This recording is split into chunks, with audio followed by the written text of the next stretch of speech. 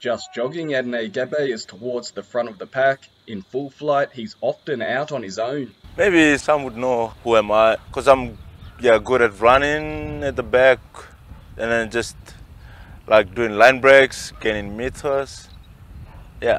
The fleet-footed fullback tore up the Queensland Cup with Wynnum in 2019. Now a Mendi Blackhawk, he hopes to repeat the feat as Townsville's talisman. Gebbie knows numerous NRL hopefuls have achieved their ambitions on the back of impressing at the club. The 26-year-old isn't about to give up on his dream despite not achieving it during stints with the Rabbitohs and Tigers.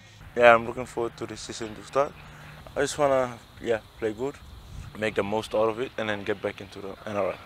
A consistent campaign would likely lead to more Kumuls caps. Oh, look at this run! Oh, Edene Gebbie is in to score under the crossbar! The speedster expects pre-season training to ramp up leading into the new year. It's alright. It's not that bad. Sometimes get hard when something is not right. But I reckon it's gonna go hard, like maybe next week. The competition kicks off in March.